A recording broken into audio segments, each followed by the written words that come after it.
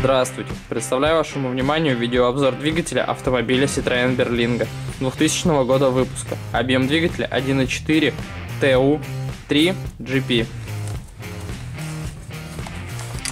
Крышка и маслозаливная горловина чистые. Нагара и эмульсии нет. Замер компрессии.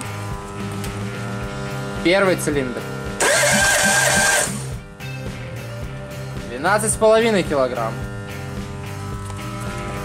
Второй цилиндр. 12,5 килограмм. Третий цилиндр.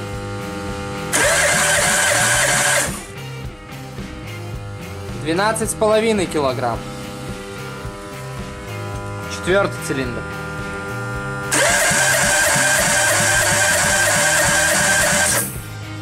Двенадцать килограмм.